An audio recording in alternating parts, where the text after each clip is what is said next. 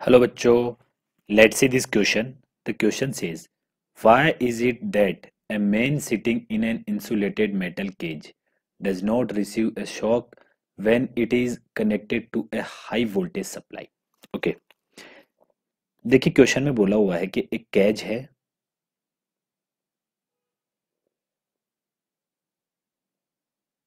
जो कि बना हुआ है इंसुलेटेड मेटल का।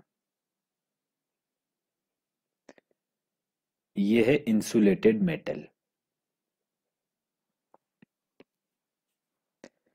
क्लियर और यहाँ पे एक मैन जो है, वो खड़ा है।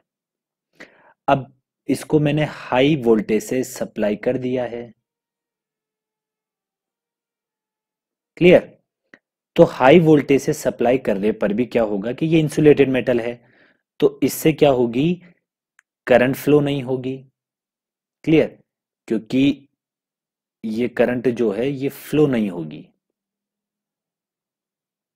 क्यों फ्लो नहीं होगी? क्योंकि इंसुलेटेड मेटल है। क्लियर तो मैं यहाँ बोल सकता हूँ there is no flow of current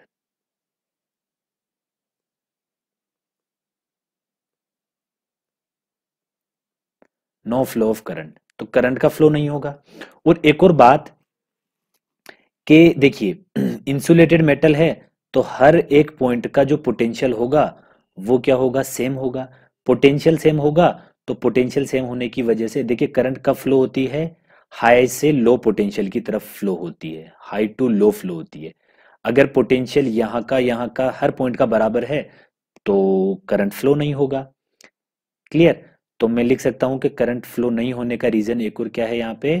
क्योंकि पोटेंशियल सेम हो जाएगा क्योंकि ये इंसुलेटेड मेटल है। तो हम लिख सकते हैं potential will be same for every point for every point therefore there will be no current flow clear so so, हम डायरेक्ट इन दोनों का रिजल्टेंट ये निकाल सकते हैं कि therefore man no shock so there will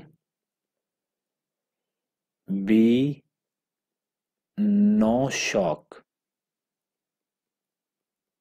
to man clear इसलिए मैन को हाई वोल्टेज सप्लाई करने के बाद भी शॉक नहीं होगा। Hope you understand it well. Best of luck.